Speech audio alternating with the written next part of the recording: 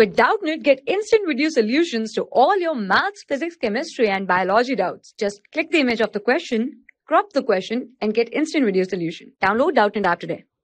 Hello students. So the question here says that what is approximate ratio of animal and plants species in our country?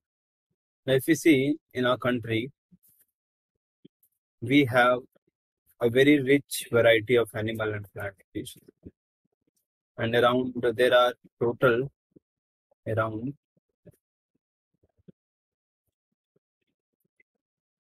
Forty-seven thousand species of plant, around forty-seven thousand species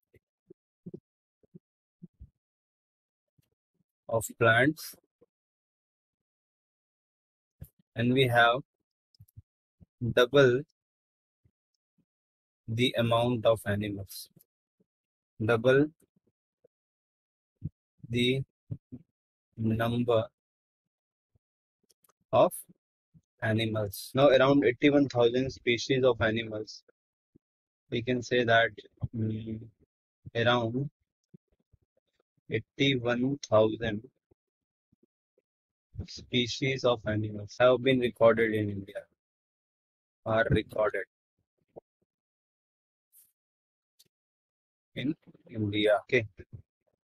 So the ratio of animal and plants in India it becomes 2 is to 1. The correct answer will be 2 is to 1.